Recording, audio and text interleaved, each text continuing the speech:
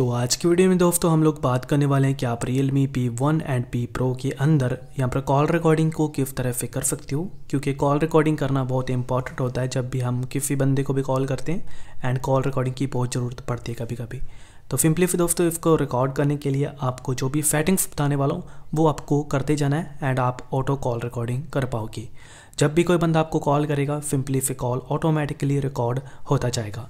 तो यहाँ पर दोस्तों सिंपली से आपको सेटिंग पर क्लिक करना है, ये जो थ्री डॉट है, पहले आपको यहाँ पर आना है डायल पैड के अंदर, ठीक है? एंड यहाँ पर थ्री डॉट पर क्लिक करेंगे, उसके बाद यहाँ पर सेटिंग के अंदर जाएँगे।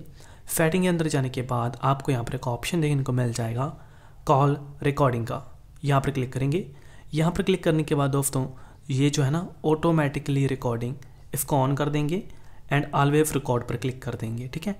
इतना करने के बाद कोई भी बंदा आपको कॉल करता है तो यहाँ पर देखिए इसको भी आप ऑन कर दीजिएगा। तो आपका जो भी कॉन्टैक्ट होगा ना नंबर वो भी आप सेलेक्ट कर सकते हो।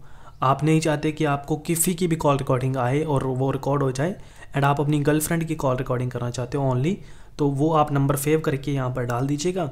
डालने के बाद आप उसी की ही कॉल रिकॉर्डिंग जो रिकॉर्ड कर पाओगे, ठीक है? तो यहाँ पर जो भी कॉल रिकॉर्ड होंगी, वो आपको यहाँ पर देखने को मिल जाएँगी, ठीक है?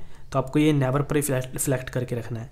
एंड यहाँ पर देखिए, आपको डिलीट वगैरह नहीं करना। एंड कॉल रिकॉर्डिंग जो आपको, जो है फ़ाइल मैनेजर के अंदर देखने को मिल जाएँगी। जब ये कॉल रिकॉर्ड होंगी।